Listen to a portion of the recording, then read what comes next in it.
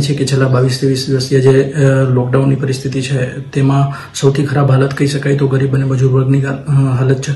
જે લોકો રોજેરોજનું કમાઈને રોજે રોજની ખાવાવાળી પ્રજા છે, તો આવા લોકોને મદદરૂપ થઈ શકાય તેના માટે થઈ.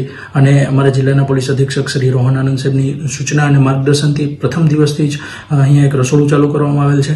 અને પહેલા બે, ત્રણ દિવસને બાદ કરતા રોજ બાવીસ, બે હજારથી બાવીસો જેટલા માણસોને અત્રેથી જમવાનું પહોંચાડવામાં આવે છે.